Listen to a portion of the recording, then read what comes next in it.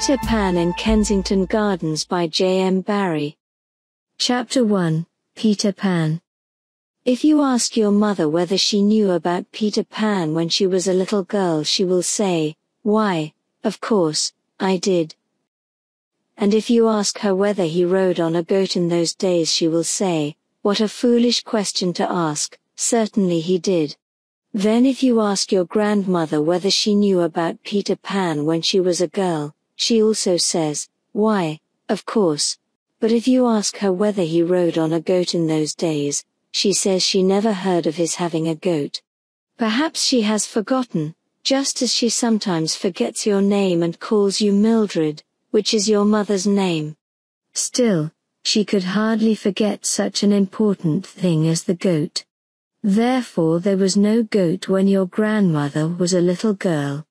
This shows that, in telling the story of Peter Pan, to begin with the goat, as most people do, is as silly as to put on your jacket before your vest. Of course, it also shows that Peter is ever so old, but he is really always the same age, so that does not matter in the least. His age is one week, and though he was born so long ago he has never had a birthday, nor is there the slightest chance of his ever having one. The reason is that he escaped from being a human when he was seven days old, he escaped by the window and flew back to the Kensington Gardens. If you think he was the only baby who ever wanted to escape, it shows how completely you have forgotten your own young days, when David heard this story first he was quite certain that he had never tried to escape, but I told him to think back hard, pressing his hands to his temples, and when he had done this hard, and even harder, he distinctly remembered a youthful desire to return to the treetops, and with that memory came others, as that he had lain in bed planning to escape as soon as his mother was asleep, and how she had once caught him halfway up the chimney, all children could have such recollections if they would press their hands hard to their temples, for, having been birds before they were human, they are naturally a little wild during the first few weeks, and very itchy at the shoulders, where their wings used to be. So David tells me. I ought to mention here that the following is our way with a story. First, I tell it to him, and then he tells it to me, the understanding being that it is quite a different story, and then I retell it with his additions, and so we go on until no one could say whether it is more his story or mine. In this story of Peter Pan, for instance, the bald narrative and most of the moral reflections are mine, though not all, for this boy can be a stern moralist, but the interesting bits about the ways and customs of babies in the bird stage are mostly reminiscences of David's, recalled by pressing his hands to his temples and thinking hard. Well, Peter Pan got out by the window, which had no bars. Standing on the ledge he could see trees far away, which were doubtless the Kensington Gardens, and the moment he saw them he entirely forgot that he was now a little boy in a nightgown, and away he flew, right over the houses to the gardens. It is wonderful that he could fly without wings, but the place itched tremendously, and, perhaps we could all fly if we were as dead confident sure of our capacity to do it as was bold Peter Pan that evening. He alighted gaily on the open sward, between the baby's palace and the serpentine, and the first thing he did was to lie on his back and kick.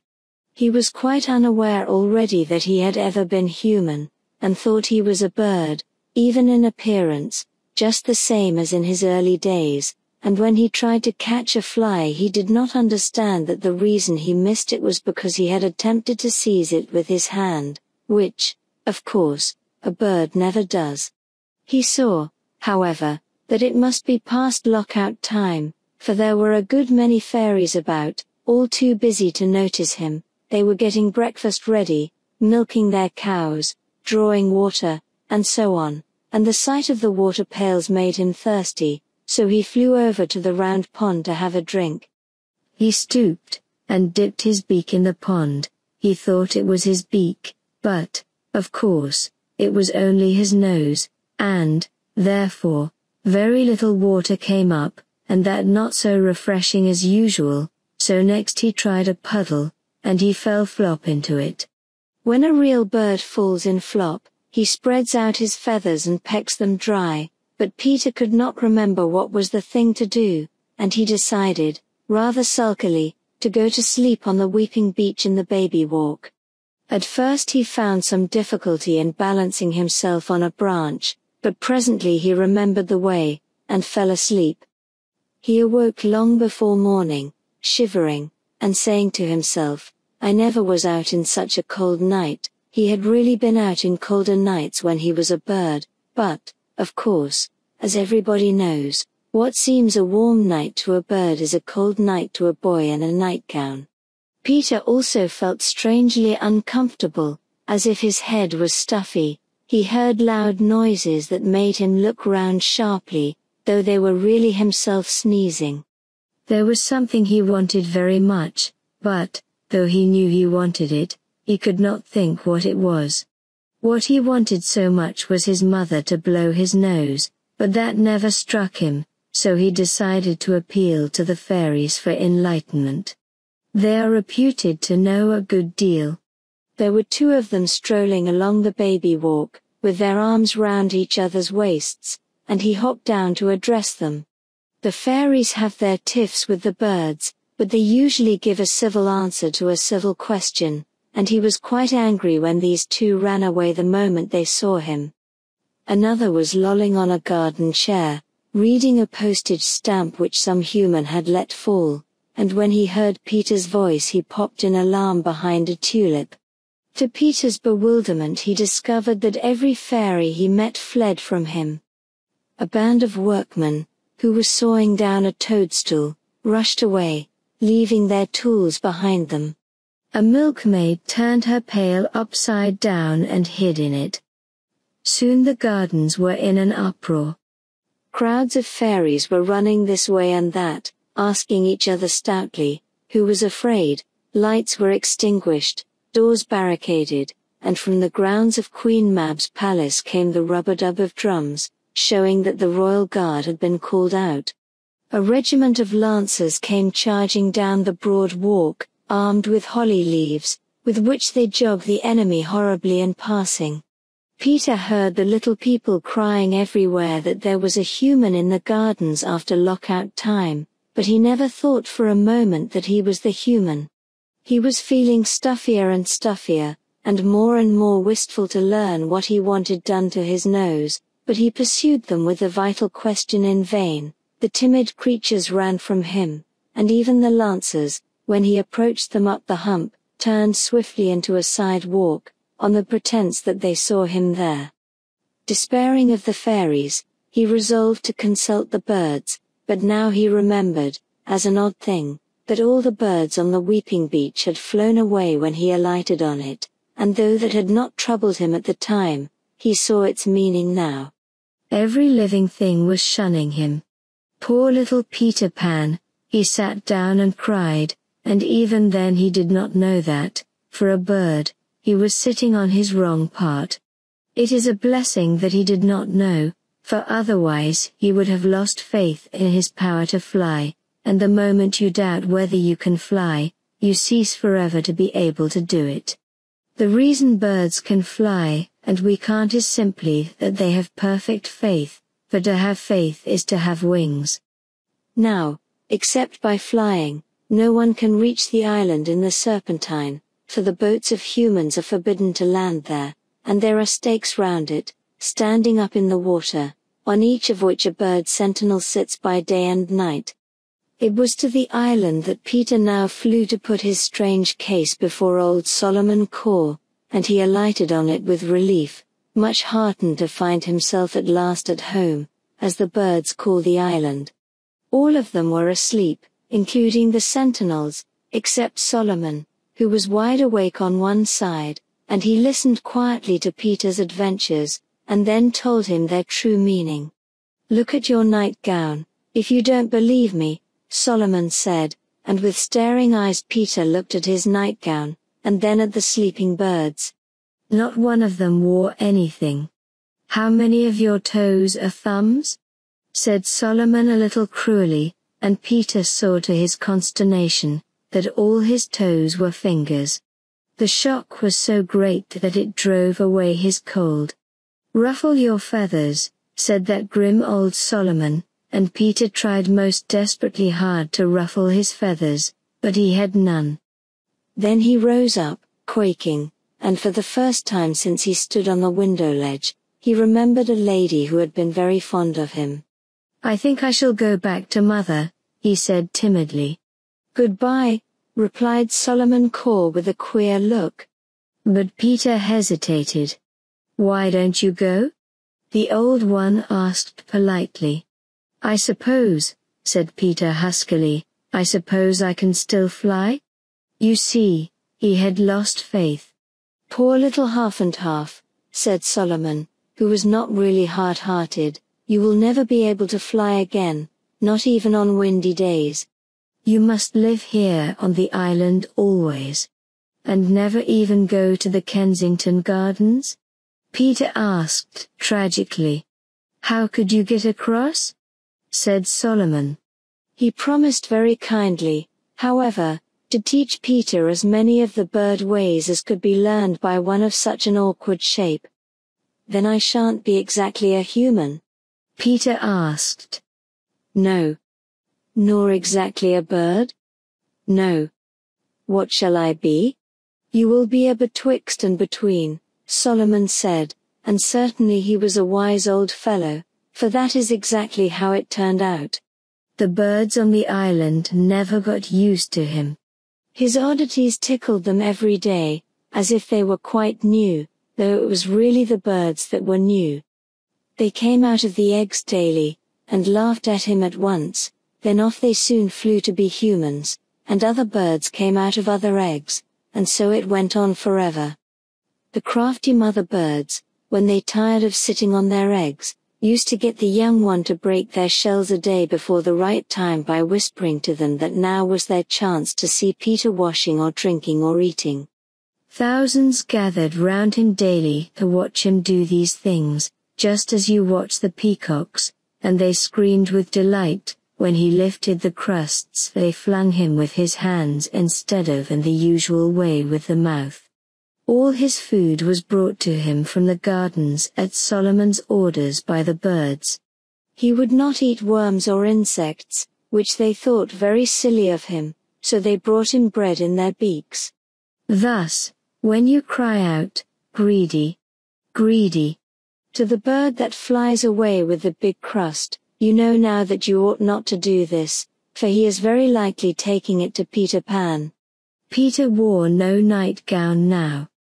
You see, the birds were always begging him for bits of it to line their nests with, and, being very good-natured, he could not refuse, so by Solomon's advice he had hidden what was left of it. But, though he was now quite naked, you must not think that he was cold or unhappy. He was usually very happy and gay, and the reason was that Solomon had kept his promise and taught him many of the bird ways. To be easily pleased, for instance, and always to be really doing something, and to think that whatever he was doing was a thing of vast importance. Peter became very clever at helping the birds to build their nests, soon he could build better than a wood pigeon, and nearly as well as a blackbird, though never did he satisfy the finches, and he made nice little water troughs near the nests and dug up worms for the young ones with his fingers. He also became very learned in bird law, and knew an east wind from a west wind by its smell, and he could see the grass growing and hear the insects walking about inside the tree trunks. But the best thing Solomon had done was to teach him to have a glad heart. All birds have glad hearts unless you rob their nests, and so as they were the only kind of heart Solomon knew about, it was easy to him to teach Peter how to have one. Peter's heart was so glad that he felt he must sing all day long, just as the birds sing for joy, but, being partly human, he needed an instrument, so he made a pipe of reeds, and he used to sit by the shore of the island of an evening, practicing the sough of the wind and the ripple of the water, and catching handfuls of the shine of the moon, and he put them all in his pipe and played them so beautifully that even the birds were deceived, and they would say to each other, Was that a fish leaping in the water or was it Peter playing leaping fish on his pipe? And sometimes he played the birth of birds, and then the mothers would turn round in their nests to see whether they had laid an egg. If you are a child of the gardens you must know the chestnut tree near the bridge, which comes out in flower first of all the chestnuts, but perhaps you have not heard why this tree leads the way. It is because Peter wearies for summer and plays that it has come, and the chestnut being so near, hears him and is cheated. But as Peter sat by the shore tootling divinely on his pipe he sometimes fell into sad thoughts and then the music became sad also, and the reason of all this sadness was that he could not reach the gardens, though he could see them through the arch of the bridge. He knew he could never be a real human again, and scarcely wanted to be one. But oh, how he longed to play as other children play, and of course there is no such lovely place to play in as the gardens. The birds brought him news of how boys and girls play, and wistful tears started in Peter's eyes. Perhaps you wonder why he did not swim across. The reason was that he could not swim. He wanted to know how to swim, but no one on the island knew the way except the ducks, and they are so stupid. They were quite willing to teach him, but all they could say about it was, you sit down on the top of the water in this way, and then you kick out like that. Peter tried it often, but always before he could kick out he sank. What he really needed to know was how you sit on the water without sinking, and they said it was quite impossible to explain such an easy thing as that.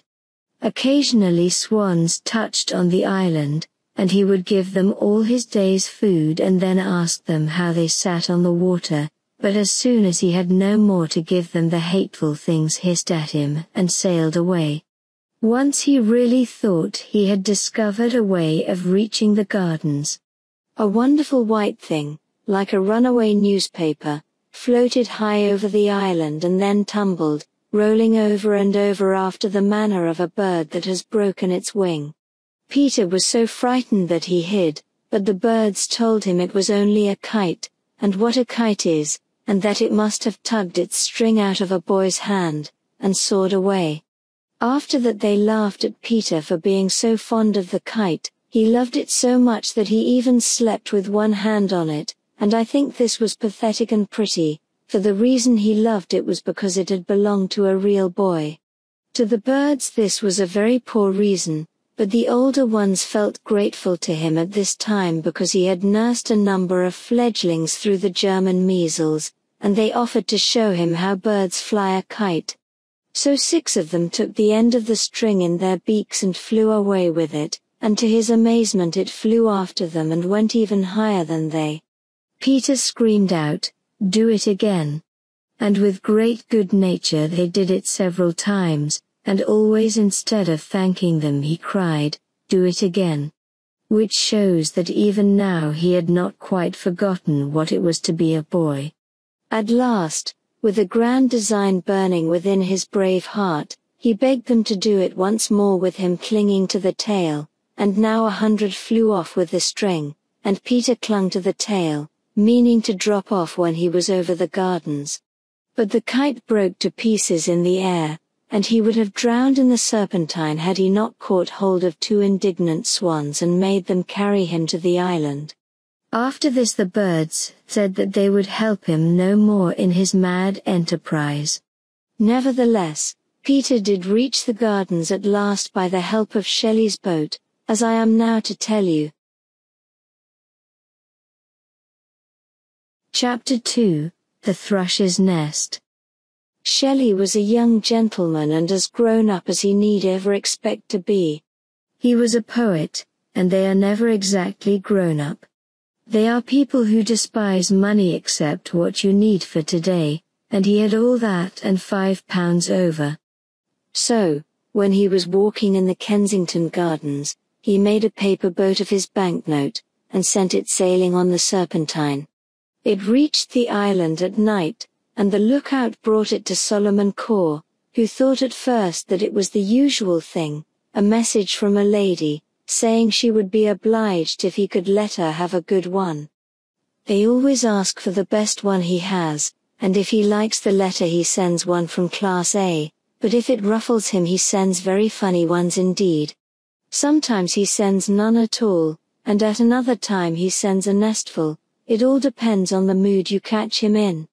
He likes you to leave it all to him, and if you mention particularly that you hope he will see his way to making it a boy this time, he is almost sure to send another girl. And whether you are a lady or only a little boy who wants a baby sister, always take pains to write your address clearly. You can't think what a lot of babies Solomon has sent to the wrong house. Shelley's boat, when opened, completely puzzled Solomon, and he took counsel of his assistants, who having walked over it twice, first with their toes pointed out, and then with their toes pointed in, decided that it came from some greedy person who wanted five. They thought this because there was a large five printed on it. Preposterous, cried Solomon in a rage, and he presented it to Peter. Anything useless which drifted upon the island was usually given to Peter as a plaything. But he did not play with his precious banknote, for he knew what it was at once, having been very observant during the week when he was an ordinary boy.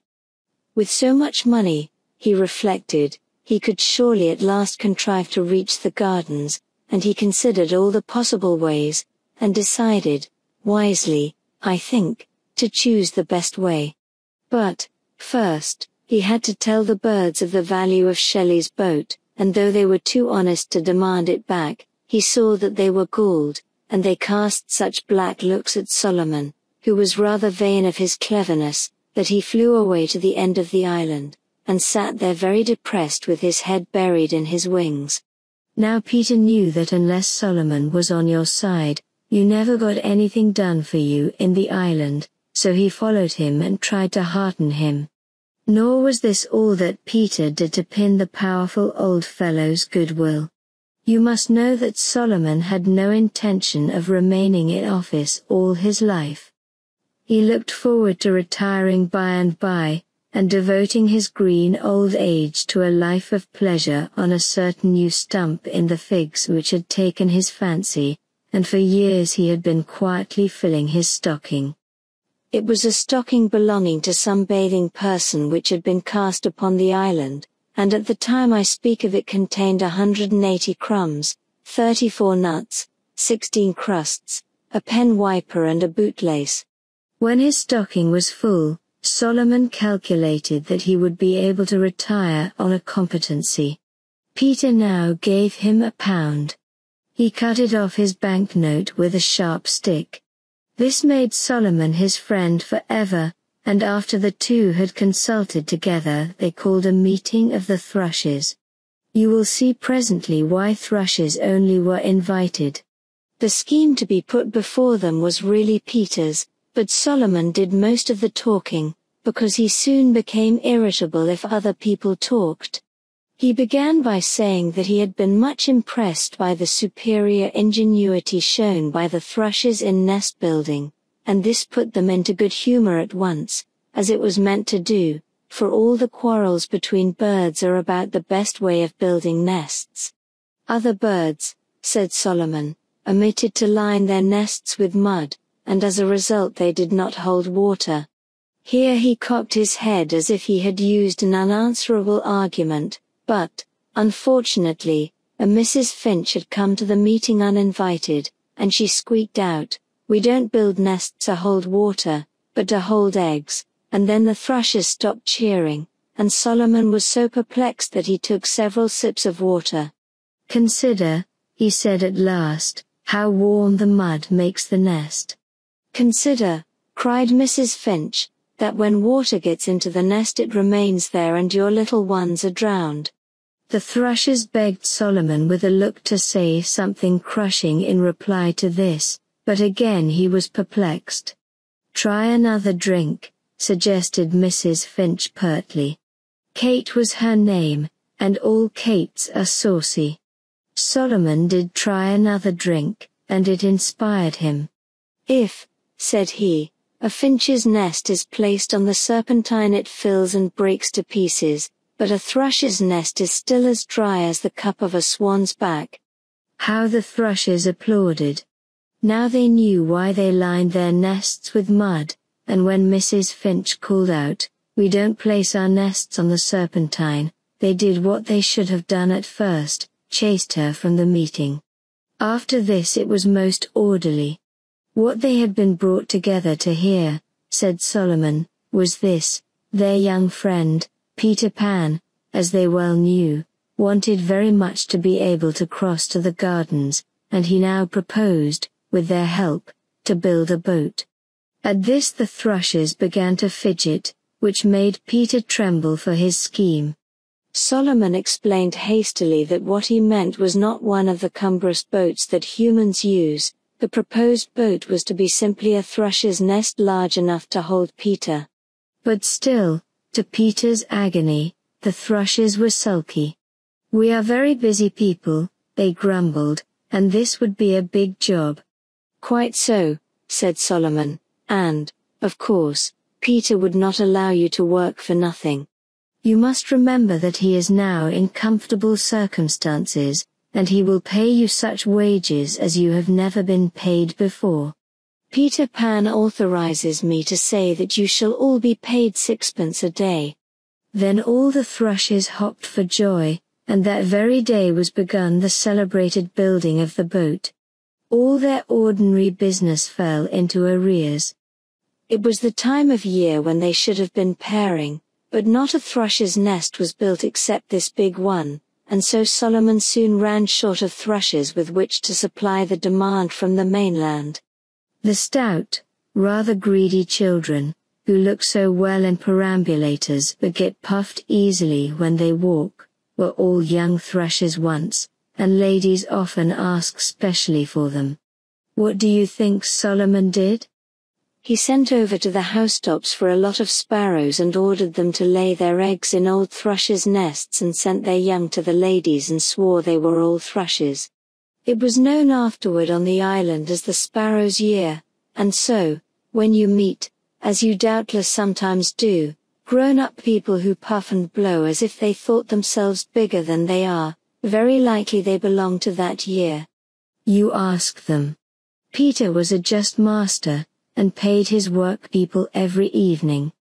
They stood in rows on the branches, waiting politely while he cut the paper sixpences out of his banknote, and presently he called the roll, and then each bird, as the names were mentioned, flew down and got sixpence.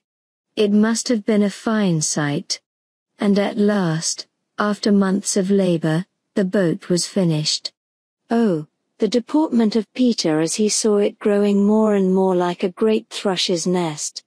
From the very beginning of the building of it he slept by its side, and often woke up to say sweet things to it, and after it was lined with mud and the mud had dried he always slept in it. He sleeps in his nest still, and has a fascinating way of curling round in it, for it is just large enough to hold him comfortably when he curls round like a kitten. It is brown inside, of course, but outside it is mostly green, being woven of grass and twigs, and when these wither or snap the walls are thatched afresh. There are also a few feathers here and there, which came off the thrushes while they were building. The other birds were extremely jealous and said that the boat would not balance on the water, but it lay most beautifully steady, they said the water would come into it, but no water came into it. Next they said that Peter had no oars, and this caused the thrushes to look at each other in dismay, but Peter replied that he had no need of oars, for he had a sail, and with such a proud, happy face he produced a sail which he had fashioned out of this nightgown, and though it was still rather like a nightgown it made a lovely sail. And that night, the moon being full, and all the birds asleep, he did enter his coracle, as Master Francis Pretty would have said, and depart out of the island. And first, he knew not why, he looked upward, with his hands clasped, and from that moment his eyes were pinned to the west. He had promised the thrushes to begin by making short voyages, with them to his guides, but far away he saw the Kensington Gardens beckoning to him beneath the bridge, and he could not wait. His face was flushed, but he never looked back, there was an exultation in his little breast that drove out fear. Was Peter the least gallant of the English mariners who have sailed westward to meet the unknown? At first, his boat turned round and round, and he was driven back to the place of his starting, whereupon he shortened sail, by removing one of the sleeves, and was forthwith carried backward by a contrary breeze, to his no small peril. He now let go the sail, with the result that he was drifted toward the far shore, where are black shadows he knew not the dangers of, but suspected them, and so once more hoisted his nightgown and went roomer of the shadows until he caught a favoring wind, which bore him westward, but at so great a speed that he was like to be broke against the bridge. Which, having avoided, he passed under the bridge and came, to his great rejoicing, within full sight of the delectable gardens but having tried to cast anchor, which was a stone at the end of a piece of the kite string, he found no bottom, and was fain to hold off, seeking for moorage, and, feeling his way, he buffeted against a sunken reef that cast him overboard by the greatness of the shock, and he was near to being drowned, but clambered back into the vessel. There now arose a mighty storm, accompanied by roaring of waters, such as he had never heard the like, and he was tossed this way and that, and his hands so numbed with the cold that he could not close them. Having escaped the danger of which, he was mercifully carried into a small bay, where his boat rode at peace. Nevertheless, he was not yet in safety, for, on pretending to disembark, he found a multitude of small people drawn up on the shore to contest his landing, and shouting shrilly to him to be off, for it was long past lockout time. This, with much brandishing of their holly leaves, and also a company of them carried an arrow which some boy had left in the gardens, and this they were prepared to use as a battering ram. Then Peter, who knew them for the fairies, called out that he was not an ordinary human and had no desire to do them displeasure, but to be their friend, nevertheless, having found a jolly harbor, he was in no temper to draw off therefrom, and he warned them if they sought to mischief him to stand to their harms.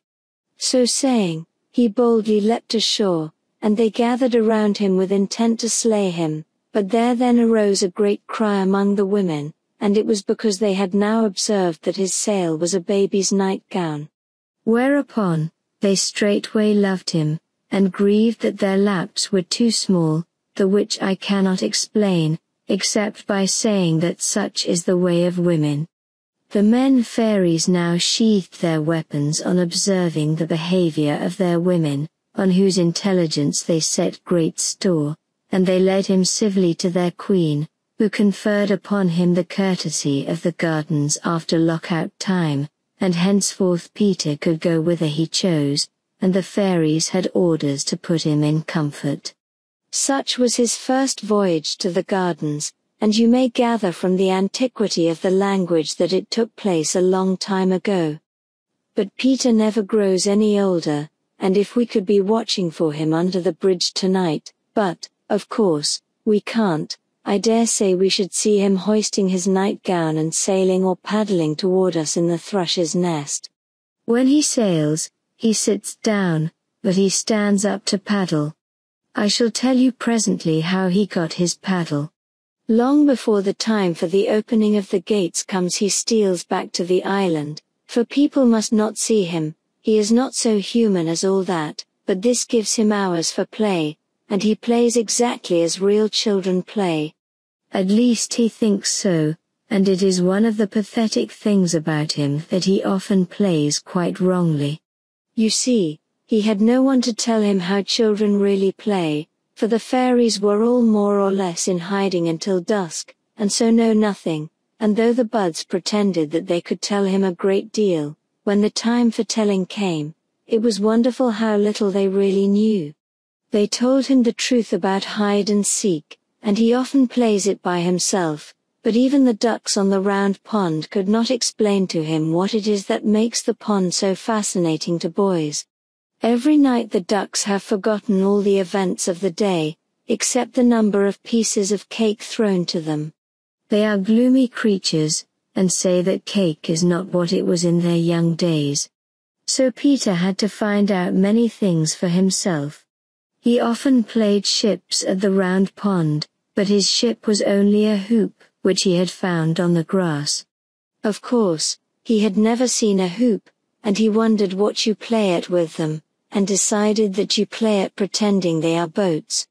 This hoop always sank at once, but he waded in for it, and sometimes he dragged it gleefully round the rim of the pond, and he was quite proud to think that he had discovered what boys do with hoops. Another time, when he found a child's pail, he thought it was for sitting in, and he sat so hard in it that he could scarcely get out of it. Also he found a balloon. It was bobbing about on the hump, quite as if it was having a game by itself, and he caught it after an exciting chase. But he thought it was a ball, and Jenny Wren had told him that boys kick balls, so he kicked it, and after that he could not find it anywhere. Perhaps the most surprising thing he found was a perambulator. It was under a lime tree, near the entrance to the Fairy Queen's Winter Palace, which is within the circle of the seven Spanish chestnuts, and Peter approached it warily, for the birds had never mentioned such things to him. Lest it was alive, he addressed it politely, and then, as it gave no answer, he went nearer and felt it cautiously. He gave it a little push, and it ran from him, which made him think it must be alive after all, but, as it had run from him, he was not afraid. So he stretched out his hand to pull it to him, but this time it ran at him, and he was so alarmed that he leapt the railing and scudded away to his boat. You must not think, however, that he was a coward, for he came back next night with a crust in one hand, and a stick in the other, but the perambulator had gone, and he never saw another one. I have promised to tell you also about his paddle. It was a child's spade which he had found near street. Govor's well, and he thought it was a paddle. Do you pity Peter Pan for making these mistakes? If so, I think it rather silly of you. What I mean is that, of course, one must pity him now and then, but to pity him all the time would be impertinence. He thought he had the most splendid time in the gardens, and to think you have it is almost quite as good as really to have it. He played without ceasing, while you often waste time by being Mad Dog or Mary Annish. He could be neither of these things, for he had never heard of them, but do you think he is to be pitied for that? Oh, he was merry. He was as much merrier than you, for instance, as you are merrier than your father. Sometimes he fell, like a spinning top, from sheer merriment. Have you seen a greyhound leaping the fences of the gardens? That is how Peter leaps them. And think of the music of his pipe. Gentlemen who walk home at night write to the papers to say they heard a nightingale in the gardens, but it is really Peter's pipe they hear. Of course, he had no mother, at least, what use was she to him? You can be sorry for him for that, but don't be too sorry, for the next thing I mean to tell you is how he revisited her. It was the fairies who gave him the chance. Chapter 3 The Little House Everybody has heard of the little house in the Kensington Gardens, which is the only house in the whole world that the fairies have built for humans. But no one has really seen it, except just three or four, and they have not only seen it but slept in it, and unless you sleep in it you never see it. This is because it is not there when you lie down, but it is there when you wake up and step outside. In a kind of way everyone may see it, but what you see is not really it, but only the light in the windows. You see the light after lockout time. David, for instance, saw it quite distinctly far away among the trees as we were going home from the pantomime and Oliver Bailey saw it the night he stayed so late at the temple, which is the name of his father's office. Angela Clare, who loves to have a tooth extracted because then she is treated to tea in a shop, saw more than one light, she saw hundreds of them all together, and this must have been the fairies building the house, for they builded every night and always in a different part of the gardens. She thought one of the lights was bigger than the others, though she was not quite sure, for they jumped about so, and it might have been another one that was bigger. But if it was the same one, it was Peter Pan's light. Heaps of children have seen the fight, so that is nothing. But Mamie Mannering was the famous one for whom the house was first built. Mamie was always rather a strange girl, and it was at night that she was strange. She was four years of age, and in the daytime she was the ordinary kind. She was pleased when her brother Tony, who was a magnificent fellow of six, took notice of her, and she looked up to him in the right way, and tried in vain to imitate him and was flattered rather than annoyed when he shoved her about. Also, when she was batting she would pause though the ball was in the air to point out to you that she was wearing new shoes. She was quite the ordinary kind in the daytime. But as the shades of night fell, Tony, the swaggerer, lost his contempt for Mamie and eyed her fearfully, and no wonder, for with dark there came into her face a look that I can describe only as a leery look. It was also a serene look that contrasted grandly with Tony's uneasy glances. Then he would make her presents of his favorite toys, which he always took away from her next morning, and she accepted them with a disturbing smile. The reason he was now become so wheedling and she so mysterious was, in brief, that they knew they were about to be sent to bed. It was then that Mamie was terrible. Tony entreated her not to do it tonight, and the mother and their nurse threatened her, but Mamie merely smiled her agitating smile. And by and by when they were alone with their nightlight she would start up in bed crying HSH. What was that? Tony beseeches her. It was nothing, don't, Mamie, don't and pulls the sheet over his head. It is coming nearer. She cries, Oh, look at it, Tony. It is feeling your bed with its horns, it is boring for you, oh, Tony, oh. And she desists not until he rushes downstairs in his combinations, screeching. When they came up to whip Mamie they usually found her sleeping tranquilly, not shamming, you know but really sleeping, and looking like the sweetest little angel, which seems to me to make it almost worse. But of course it was daytime when they were in the gardens, and then Tony did most of the talking. You could gather from his talk that he was a very brave boy, and no one was so proud of it as Mamie. She would have loved to have a ticket on her saying that she was his sister. And at no time did she admire him more than when he told her, as he often did with splendid firmness, that one day he meant to remain behind in the gardens after the gates were closed. Oh, Tony, she would say, with awful respect, but the fairies will be so angry. I dare say, replied Tony, carelessly. Perhaps, she said, thrilling, Peter Pan will give you a sail in his boat. I shall make him, replied Tony, no wonder she was proud of him. But they should not have talked so loudly, for one day they were overheard by a fairy who had been gathering skeleton leaves, from which the little people weave their summer curtains, and after that Tony was a marked boy. They loosened the rails before he sat on them, so that down he came on the back of his head, they tripped him up by catching his bootlace and bribed the ducks to sink his boat. Nearly all the nasty accidents you meet with in the gardens occur because the fairies have taken an ill will to you, and so it behoves you to be careful what you say about them. Mamie was one of the kind who like to fix a day for doing things, but Tony was not that kind, and when she asked him which day he was to remain behind in the gardens after lockout he merely replied, just some day, he was quite vague about which day except when she asked will it be today? and then he could always say for certain that it would not be today. So she saw that he was waiting for a real good chance. This brings us to an afternoon when the gardens were white with snow, and there was ice on the round pond, not thick enough to skate on but at least you could spoil it for tomorrow by flinging stones, and many bright little boys and girls were doing that.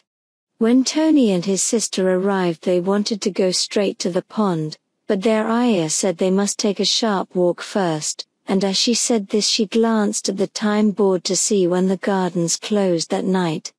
It read half past five. Poor ayah. She is the one who laughs continuously because there are so many white children in the world, but she was not to laugh much more that day. Well, they went up the baby walk and back, and when they returned to the time board she was surprised to see that it now read five o'clock for closing time.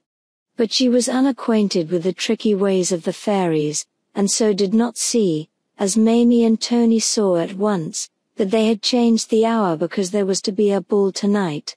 She said there was only time now to walk to the top of the hump and back, and as they trotted along with her she little guessed what was thrilling their little breasts. You see the chance had come of seeing a fairy ball. Never, Tony felt, could he hope for a better chance. He had to feel this, for Mamie so plainly felt it for him. Her eager eyes asked the question, Is it today? And he gasped and then nodded. Mamie slipped her hand into Tony's, and hers was hot, but his was cold.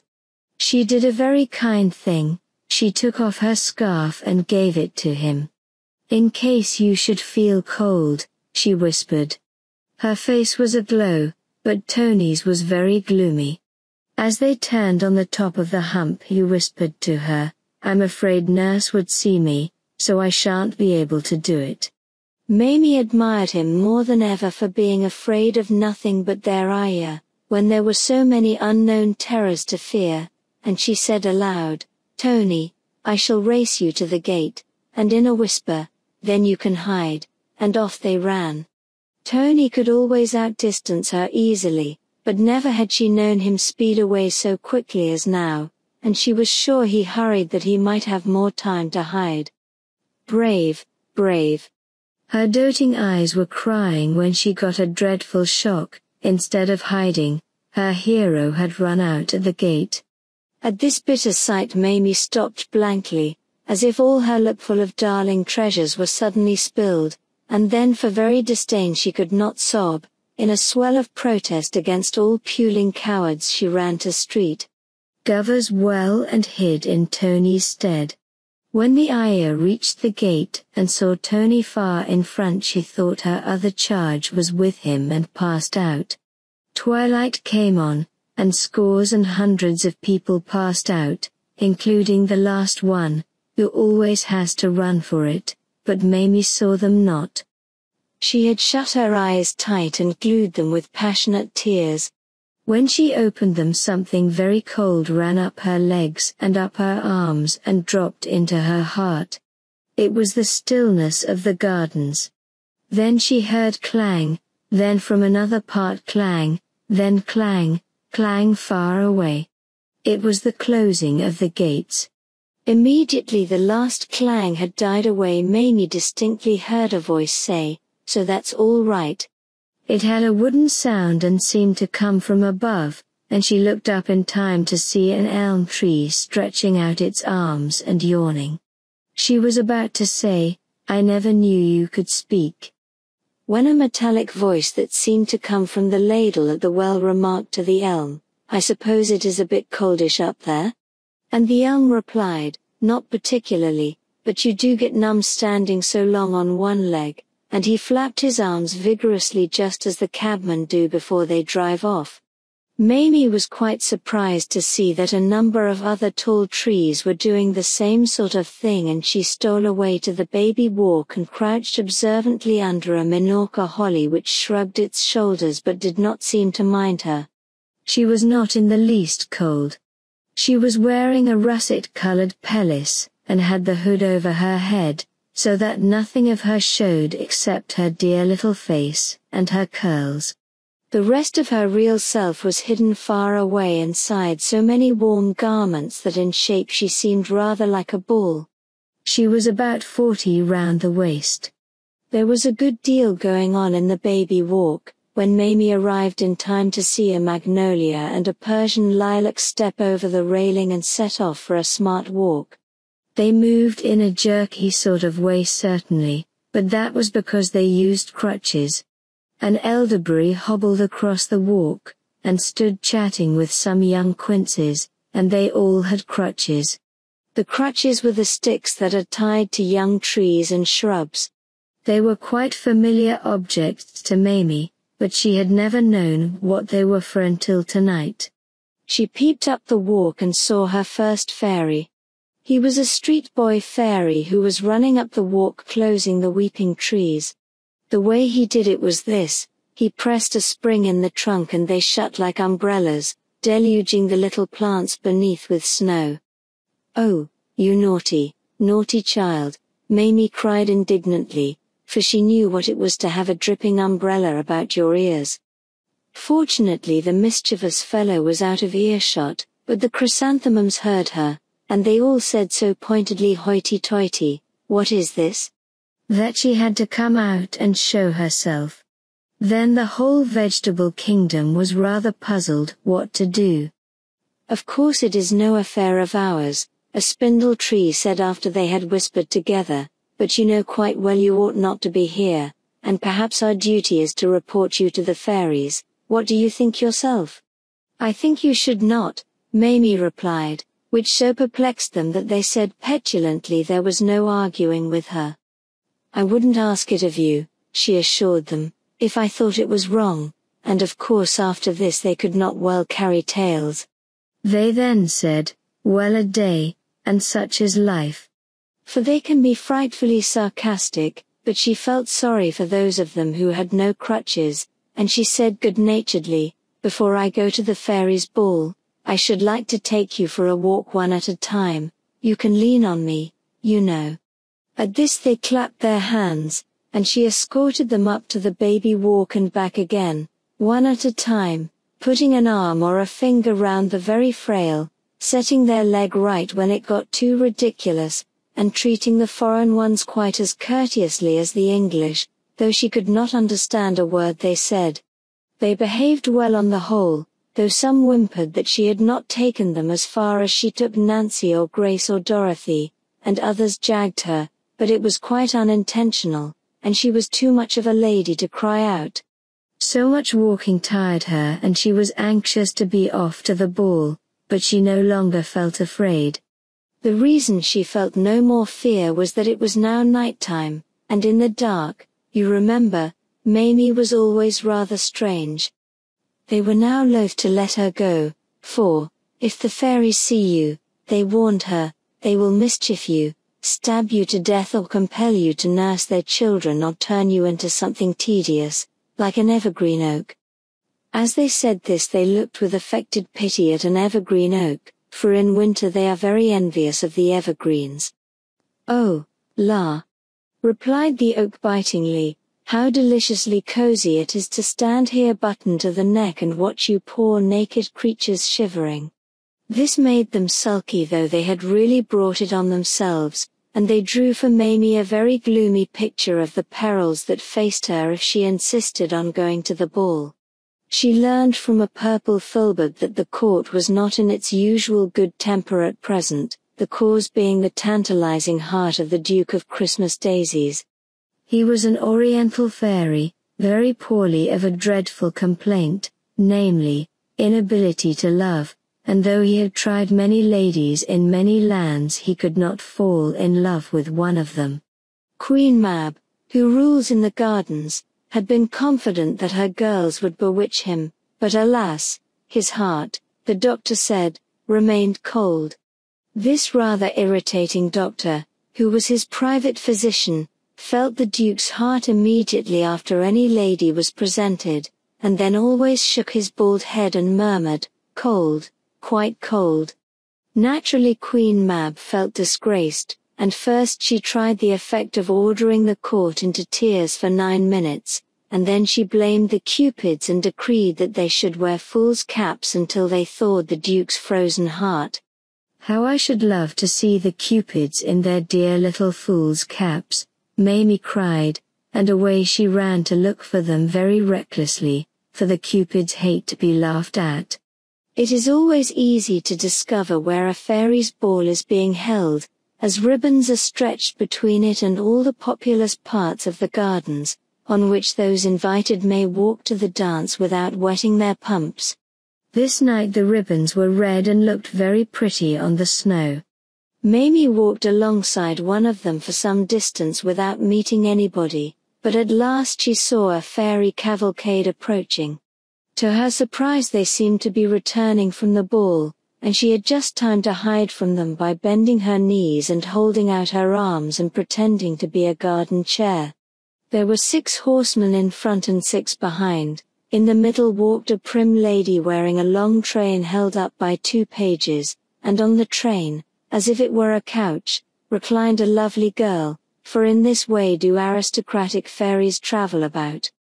She was dressed in golden rain, but the most enviable part of her was her neck, which was blue in color and of a velvet texture, and of course showed off her diamond necklace as no white throat could have glorified it. The high-born fairies obtain this admired effect by pricking their skin, which lets the blue blood come through and dye them, and you cannot imagine anything so dazzling unless you have seen the ladies' busts in the jewelers' windows. Mamie also noticed that the whole cavalcade seemed to be in a passion, tilting their noses higher than it can be safe for even fairies to tilt them, and she concluded that this must be another case in which the doctor had said cold, quite cold. Well, she followed the ribbon to a place where it became a bridge over a dry puddle into which another fairy had fallen and been unable to climb out. At first this little damsel was afraid of Mamie, who most kindly went to her aid, but soon she sat in her hand chatting gaily and explaining that her name was Brownie, and that though only a poor street singer she was on her way to the ball to see if the Duke would have her. Of course, she said, I am rather plain, and this made Mamie uncomfortable, for indeed the simple little creature was almost quite plain for a fairy. It was difficult to know what to reply. I see you think I have no chance, Brownie said falteringly. I don't say that, Mamie answered politely, of course your face is just a tiny bit homely, but, really it was quite awkward for her. Fortunately she remembered about her father and the bazaar. He had gone to a fashionable bazaar where all the most beautiful ladies in London were on view for half a crown the second day, but on his return home instead of being dissatisfied with Mamie's mother he had said, You can't think, my dear, what a relief it is to see a homely face again. Mamie repeated this story, and it fortified Brownie tremendously. Indeed, she had no longer the slightest doubt that the Duke would choose her. So she scudded away up the ribbon, calling out to Mamie not to follow lest the Queen should mischief her. But Mamie's curiosity tugged her forward, and presently at the seven Spanish chestnuts, she saw a wonderful light. She crept forward until she was quite near it, and then she peeped from behind a tree. The light, which was as high as your head above the ground, was composed of myriads of glowworms, all holding on to each other, and so forming a dazzling canopy over the fairy ring. There were thousands of little people looking on, but they were in shadow and drab in color compared to the glorious creatures within that luminous circle who were so bewilderingly bright that Mamie had to wink hard all the time she looked at them. It was amazing and even irritating to her that the Duke of Christmas Daisies should be able to keep out of love for a moment, yet out of love his dusky grey still was, you could see it by the shamed looks of the Queen and court, though they pretended not to care, by the way darling ladies brought forward for his approval burst into tears as they were told to pass on, and by his own most dreary face. Mamie could also see the pompous doctor feeling the Duke's heart and hear him give utterance to his parrot cry, and she was particularly sorry for the cupids, who stood in their fools' caps in obscure places and, every time they heard that cold, quite cold, bowed their disgraced little heads. She was disappointed not to see Peter Pan, and I may as well tell you now why he was so late that night. It was because his boat had got wedged on the serpentine between fields of floating ice, through which he had to break a perilous passage with his trusty paddle. The fairies had as yet scarcely missed him, for they could not dance, so heavy were their hearts. They forget all the steps when they are sad, and remember them again when they are merry. David tells me that fairies never say we feel happy, what they say is, we feel dancy. Well, they were looking very undancy indeed, when sudden laughter broke out among the onlookers, caused by Brownie, who had just arrived and was insisting on her right to be presented to the Duke. Mamie craned forward eagerly to see how her friend fared, though she had really no hope, no one seemed to have the least hope except Brownie herself who, however, was absolutely confident. She was led before his grace, and the doctor putting a finger carelessly on the ducal heart, which for convenience sake was reached by a little trapdoor in his diamond shirt, had begun to say mechanically, cold, key, when he stopped abruptly. What's this? He cried, and first he shook the heart like a watch, and then put his ear to it. Bless my soul, cried the doctor, and by this time of course the excitement among the spectators was tremendous, fairies fainting right and left. Everybody stared breathlessly at the Duke, who was very much startled and looked as if he would like to run away. Good gracious me! The doctor was heard muttering, and now the heart was evidently on fire, for he had to jerk his fingers away from it and put them in his mouth. The suspense was awful. Then in a loud voice, and bowing low, My Lord Duke, said the physician elatedly, I have the honor to inform your excellency that your grace is in love. You can't conceive the effect of it. Brownie held out her arms to the Duke and he flung himself into them. The Queen leapt into the arms of the Lord Chamberlain, and the ladies of the court leapt into the arms of her gentlemen, for it is etiquette to follow her example in everything. Thus in a single moment about fifty marriages took place, for if you leap into each other's arms it is a fairy wedding. Of course a clergyman has to be present. How the crowd cheered and leapt. Trumpets brayed, the moon came out, and immediately a thousand couples seized hold of its rays as if they were ribbons in a May dance and waltzed in wild abandon round the fairy ring. Most gladsome sight of all, the cupids plucked the hated fools' caps from their heads and cast them high in the air. And then Mamie went and spoiled everything. She couldn't help it. She was crazy with delight over her little friend's good fortune, so she took several steps forward and cried in an ecstasy, Oh, Brownie, how splendid! Everybody stood still, the music ceased, the lights went out, and all in the time you may take to say oh dear. An awful sense of her peril came upon Mamie, too late she remembered that she was a lost child in a place where no human must be between the locking and the opening of the gates. She heard the murmur of an angry multitude, she saw a thousand swords flashing for her blood, and she uttered a cry of terror and fled. How she ran! And all the time her eyes were starting out of her head. Many times she lay down, and then quickly jumped up and ran on again.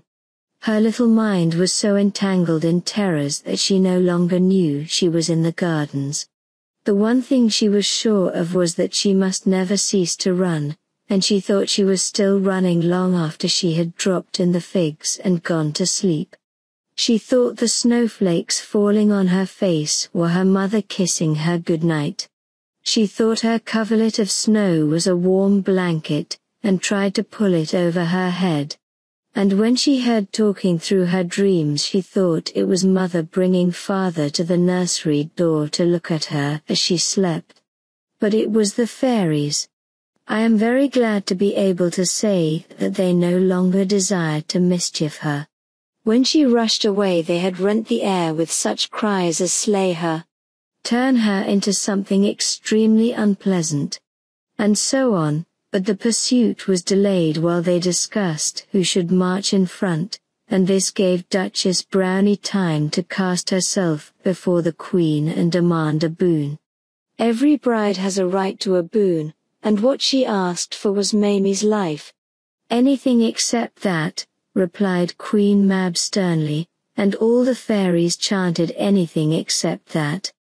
But when they learned how Mamie had befriended Brownie and so enabled her to attend the ball to their great glory and renown, they gave three huzzas for the little human, and set off, like an army, to thank her, the court advancing in front and the canopy keeping step with it. They traced Mamie easily by her footprints in the snow. But though they found her deep in snow in the figs, it seemed impossible to thank Mamie, for they could not waken her. They went through the form of thanking her, that is to say, the new king stood on her body and read her a long address of welcome, but she heard not a word of it. They also cleared the snow off her, but soon she was covered again, and they saw she was in danger of perishing of cold. Turn her into something that does not mind the cold, seemed a good suggestion of the doctors, but the only thing they could think of that does not mind cold was a snowflake. And it might melt, the queen pointed out, so that idea had to be given up. A magnificent attempt was made to carry her to a sheltered spot, but though there were so many of them she was too heavy. By this time all the ladies were crying in their handkerchiefs, but presently the cupids had a lovely idea. Build a house round her, they cried, and at once everybody perceived that this was the thing to do. In a moment a hundred fairy sawyers were among the branches, architects were running round Mamie, measuring her, a bricklayer's yard sprang up at her feet, seventy-five masons rushed up with the foundation stone and the queen laid it, overseers were appointed to keep the boys off, scaffoldings were run up, the whole place rang with hammers and chisels and turning lathes, and by this time the roof was on and that the glaziers were putting in the windows. The house was exactly the size of Mamie and perfectly lovely. One of her arms was extended and this had bothered them for a second, but they built a veranda round it, leading to the front door. The windows were the size of a colored picture book and the door rather smaller, but it would be easy for her to get out by taking off the roof. The fairies, as is their custom, clapped their hands with delight over their cleverness, and they were all so madly in love with the little house that they could not bear to think they had finished it. So they gave it ever so many little extra touches, and even then they added more extra touches. For instance, two of them ran up a ladder and put on a chimney. Now we fear it is quite finished, they sighed. But no, for another two ran up the ladder, and tied some smoke to the chimney. That certainly finishes it, they cried reluctantly. Not at all, cried a glowworm, if she were to wake without seeing a nightlight she might be frightened, so I shall be her nightlight. Wait one moment, said a china merchant, and I shall make you a saucer. Now alas, it was absolutely finished. Oh, dear no. Gracious me, cried a brass manufacturer, there's no handle on the door, and he put one on. An ironmonger added a scraper and an old lady ran up with a door mat. Carpenters arrived with a water butt, and the painters insisted on painting it. Finished at last. Finished.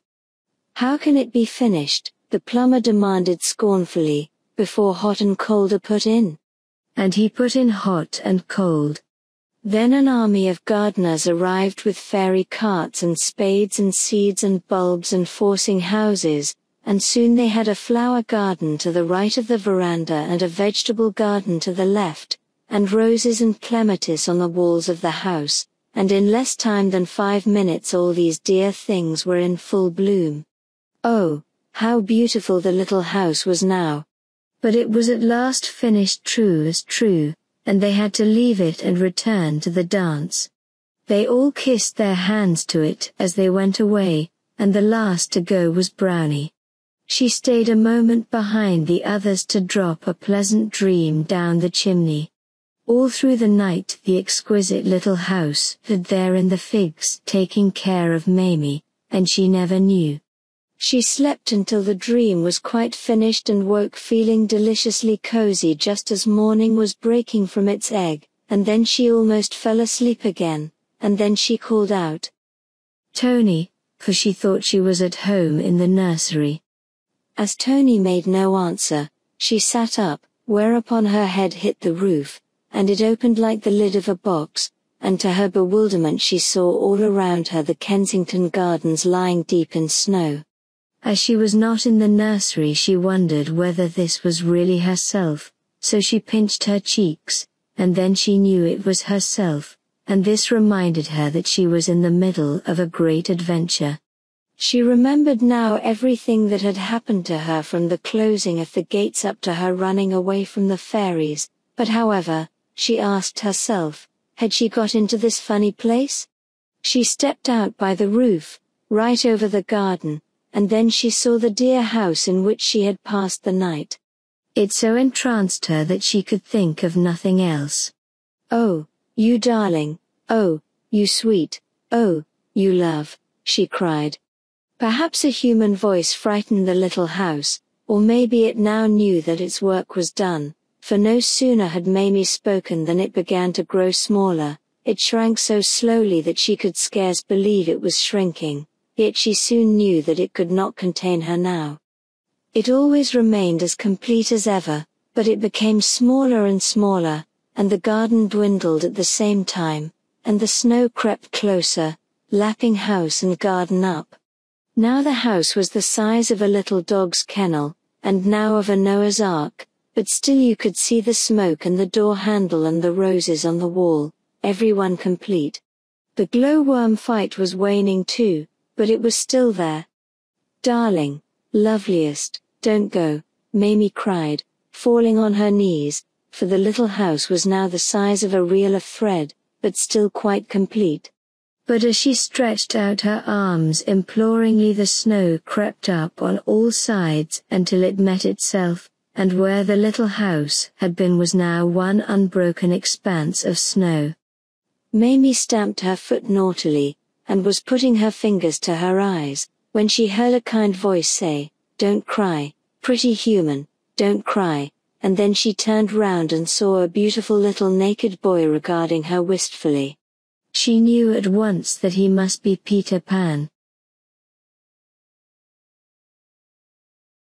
Chapter 4 Lockout Time It is frightfully difficult to know much about the fairies, and almost the only thing known for certain is that there are fairies wherever there are children.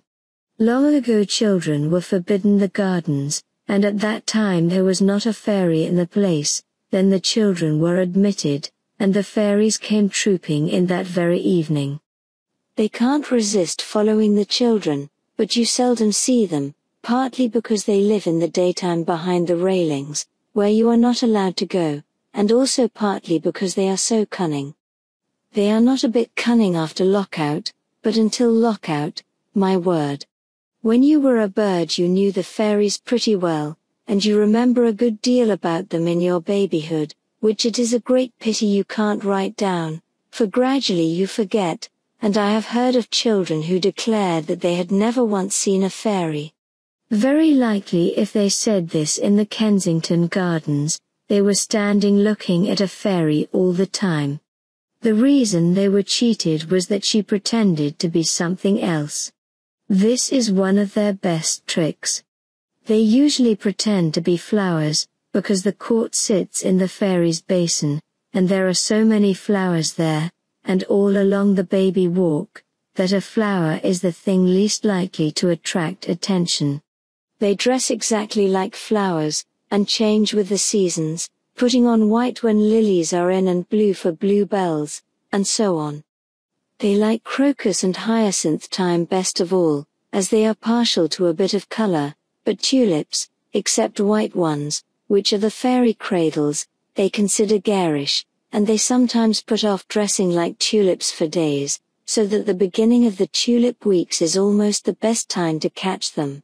When they think you are not looking they skip along pretty lively, but if you look and they fear there is no time to hide, they stand quite still, pretending to be flowers.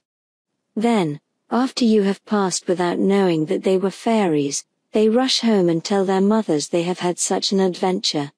The fairy basin, you remember, is all covered with ground ivy, from which they make their castor oil, with flowers growing in it here and there. Most of them really are flowers, but some of them are fairies.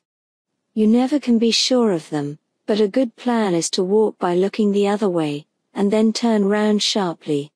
Another good plan, which David and I sometimes follow, is to stare them down. After a long time they can't help winking, and then you know for certain that they are fairies. There are also numbers of them along the baby walk, which is a famous gentle place, as spots frequented by fairies are called. Once 24 of them had an extraordinary adventure. They were a girls' school out for a walk with the governess, and all wearing hyacinth gowns, when she suddenly put her finger to her mouth, and then they all stood still on an empty bed and pretended to be hyacinths. Unfortunately, what the governess had heard was two gardeners coming to plant new flowers in that very bed. They were wheeling a handcart with flowers in it, and were quite surprised to find the bed occupied. Pity to lift them hyacinths, said the one man. Duke's orders, replied the other, and, having emptied the cart, they dug up the boarding school and put the poor, terrified things in it in five rows. Of course, neither the governess nor the girls dare let on that they were fairies, so they were carted far away to a potting shed, out of which they escaped in the night without their shoes, but there was a great row about it among the parents, and the school was ruined. As for their houses, it is no use looking for them, because they are the exact opposite of our houses. You can see our houses by day but you can't see them by dark. Well, you can see their houses by dark, but you can't see them by day, for they are the color of night, and I never heard of anyone yet who could see night in the daytime. This does not mean that they are black, for night has its colors just as day has, but ever so much brighter. Their blues and reds and greens are like ours with a light behind them. The palace is entirely built of many colored glasses, and is quite the loveliest of all royal residences, but the queen sometimes complains because the common people will peep in to see what she is doing. They are very inquisitive folk, and press quite hard against the glass, and that is why their noses are mostly snubby. The streets are miles long and very twisty, and have paths on each side made of bright worsted. The birds used to steal the worsted for their nests, but a policeman has been appointed to hold on at the other end. One of the great differences between the fairies and us is that they never do anything useful. When the first baby laughed for the first time, his laugh broke into a million pieces, and they all went skipping about. That was the beginning of fairies. They look tremendously busy, you know, as if they had not a moment to spare, but if you were to ask them what they are doing, they could not tell you in the least. They are frightfully ignorant, and everything they do is make believe. They have a postman, but he never calls except at Christmas with his little box, and though they have beautiful schools, nothing is taught in them. The youngest child being chief person is always elected mistress, and when she has called the roll, they all go out for a walk and never come back. It is a very noticeable thing that, in fairy families, the youngest is always chief person, and usually becomes a prince or princess, and children remember this, and think it must be so among humans also, and that is why they are often made uneasy when they come upon their mother furtively putting new frills on the bassinet. You have probably observed that your baby sister wants to do all sorts of things that your mother and her nurse want her not to do, to stand up at sitting down time, and to sit down at standing up time, for instance, or to wake up when she should fall asleep, or to crawl on the floor when she is wearing her best frock, and so on, and perhaps you put this down to naughtiness. But it is not, it simply means that she is doing as she has seen the fairies do. She begins by following their ways, and it takes about two years to get her into the human ways. Her fits of passion, which are awful to behold, and are usually called teething, are no such thing, they are her natural exasperation, because we don't understand her, though she is talking an intelligible language. She is talking fairy. The reason mothers and nurses know what her remarks mean, before other people know, as that Gutch means give it to me at once, while why is why do you wear such a funny hat? Is because, mixing so much with babies, they have picked up a little of the fairy language. Of late David has been thinking back hard about the fairy tongue, with his hands clutching his temples, and he has remembered a number of their phrases which I shall tell you some day if I don't forget. He had heard them in the days when he was a thrush, and though I suggested to him that perhaps it is really bird language he is remembering, he says not for these phrases are about fun and adventures, and the birds talked of nothing but nest building. He distinctly remembers that the birds used to go from spot to spot like ladies at shop windows, looking at the different nests and saying, Not my color, my dear, and how would that do with a soft lining? And but will it wear? And what hideous trimming? And so on. The fairies are exquisite dancers, and that is why one of the first things the baby does is to sign to you to dance to him and then to cry when you do it. They hold their great balls in the open air, in what is called a fairy ring. For weeks afterward you can see the ring on the grass. It is not there when they begin, but they make it by waltzing round and round. Sometimes you will find mushrooms inside the ring, and these are fairy chairs that the servants have forgotten to clear away. The chairs and the rings are the only telltale marks these little people leave behind them, and they would remove even these were they not so fond of dancing that they tow it till the very moment of the opening of the gates. David and I once found a fairy ring quite warm. But there is also a way of finding out about the ball before it takes place. You know the boards which tell at what time the gardens are to close today. Well, these tricky fairies sometimes slyly change the board on a ball night, so that it says the gardens are to close at 6.30 for instance, instead of at 7. This enables them to get begun half an hour earlier. If on such a night we could remain behind in the gardens, as the famous Mamie Mannering did, we might see delicious sights, hundreds of lovely fairies hastening to the ball, the married ones wearing their wedding rings round their waists, the gentlemen, all in uniform, holding up the ladies' trains, and linkmen running in front carrying winter cherries, which are the fairy lanterns, the cloakroom where they put on their silver slippers and get a ticket for their wraps, the flowers streaming up from the baby walk to look on, and always welcome because they can lend a pin, the supper table, with Queen Mab at the head of it, and behind her chair the Lord Chamberlain, who carries a dandelion on which he blows when Her Majesty wants to know the time. The tablecloth varies according to the seasons, and in May it is made of chestnut blossom. The way the fairy servants do is this the men, scores of them, climb up the trees and shake the branches, and the blossom falls like snow. Then the lady servants sweep it together by whisking their skirts until it is exactly like a tablecloth, and that is how they get their tablecloth. They have real glasses and real wine of three kinds, namely, blackthorn wine, berberris wine, and cowslip wine, and the queen pours out, but the bottles are so heavy that she just pretends to pour out. There is bread and butter to begin with, of the size of a threepenny bit, and cakes to end with, and they are so small that they have no crumbs. The fairies sit round on mushrooms, and at first they are very well behaved and always cough off the table, and so on, but after a bit they are not so well behaved and stick their fingers into the butter, which is got from the roots of old trees, and the really horrid ones crawl over the tablecloth chasing sugar or other delicacies with their tongues.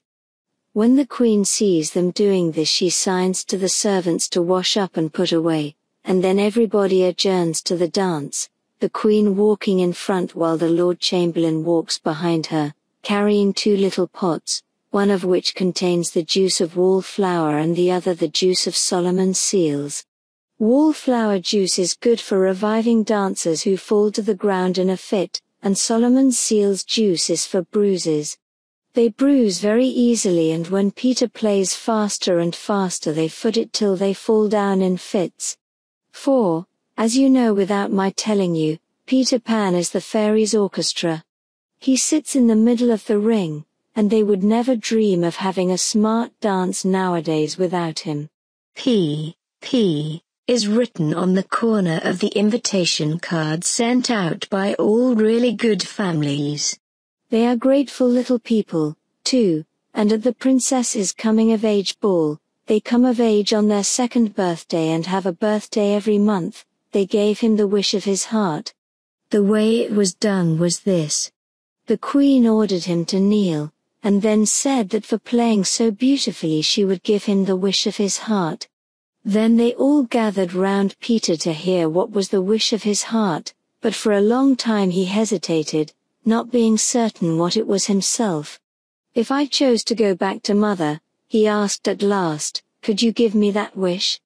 Now this question vexed them, for were he to return to his mother they should lose his music, so the queen tilted her nose contemptuously and said, Pooh, ask for a much bigger wish than that. Is that quite a little wish? He inquired. As little as this, the queen answered, putting her hands near each other. What size is a big wish? He asked. She measured it off on her skirt, and it was a very handsome length. Then Peter reflected and said, Well, then, I think I shall have two little wishes instead of one big one. Of course, the fairies had to agree, though his cleverness rather shocked them, and he said that his first wish was to go to his mother, but with the right to return to the gardens if he found her disappointing. His second wish he would hold in reserve. They tried to dissuade him, and even put obstacles in the way. I can give you the power to fly to her house, the queen said, but I can't open the door for you. The window I flew out it will be open, Peter said confidently. Mother always keeps it open in the hope that I may fly back. How do you know? They asked, quite surprised, and, really, Peter could not explain how he knew. I just do know, he said. So as he persisted in his wish, they had to grant it. The way they gave him power to fly was this, they all tickled him on the shoulder, and soon he felt a funny itching in that part and then up he rose higher and higher and flew away out of the gardens and over the housetops. It was so delicious that instead of flying straight to his old home he skimmed away over St. Paul's to the Crystal Palace and back by the river and Regent's Park, and by the time he reached his mother's window he had quite made up his mind that his second wish should be to become a bird. The window was wide open, just as he knew it would be, and in he fluttered, and there was his mother lying asleep. Peter alighted softly on the wooden rail at the foot of the bed, and had a good look at her. She lay with her head on her hand, and the hollow in the pillow was like a nest lined with her brown wavy hair. He remembered, though he had long forgotten it, that she always gave her hair a holiday at night. How sweet the frills of her nightgown were. He was very glad she was such a pretty mother. But she looked sad, and he knew why she looked sad. One of her arms moved as if it wanted to go round something, and he knew what it wanted to go round. Oh, mother, said Peter to himself, if you just knew who is sitting on the rail at the foot of the bed. Very gently he patted the little mound that her feet made, and he could see by her face that she liked it. He knew he had but to say mother ever so softly, and she would wake up. They always wake up at once if it is you that says their name. Then she would give such a joyous cry and squeeze him tight. How nice that would be to him, but oh, how exquisitely delicious it would be to her. That I am afraid is how Peter regarded it. In returning to his mother he never doubted that he was giving her the greatest treat a woman can have. Nothing can be more splendid, he thought, than to have a little boy of your own. How proud of him they are, and very right and proper, too. But why does Peter sit so long on the rail, why does he not tell his mother that he has come back? I quite shrink from the truth, which is that he sat there in two minds. Sometimes he looked longingly at his mother, and sometimes he looked longingly at the window. Certainly it would be pleasant to be her boy again, but, on the other hand, what times those had been in the gardens. Was he so sure that he would enjoy wearing clothes again?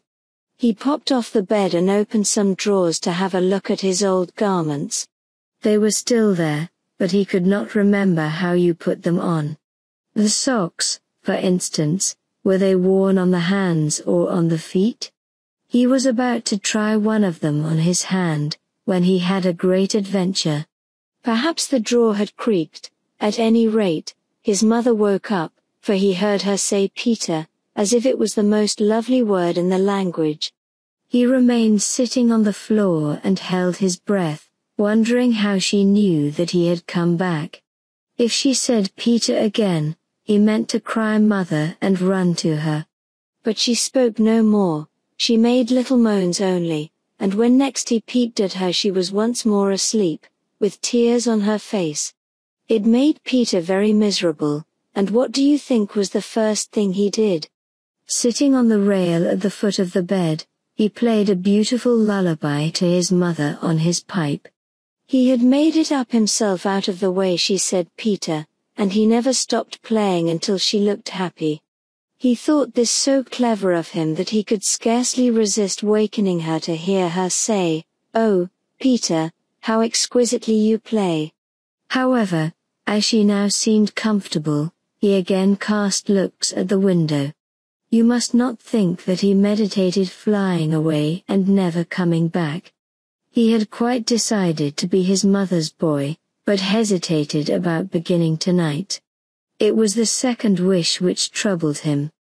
He no longer meant to make it a wish to be a bird, but not to ask for a second wish seemed wasteful, and, of course, he could not ask for it without returning to the fairies. Also, if he put off asking for his wish too long it might go bad. He asked himself if he had not been hard-hearted to fly away without saying goodbye to Solomon. I should like awfully to sail in my boat just once more, he said wistfully to his sleeping mother. He quite argued with her as if she could hear him. It would be so splendid to tell the birds of this adventure, he said coaxingly. I promise to come back, he said solemnly and meant it, too. And in the end, you know, he flew away. Twice he came back from the window, wanting to kiss his mother, but he feared the delight of it might waken her, so at last he played her a lovely kiss on his pipe, and then he flew back to the gardens. Many nights and even months passed before he asked the fairies for his second wish, and I am not sure that I quite know why he delayed so long.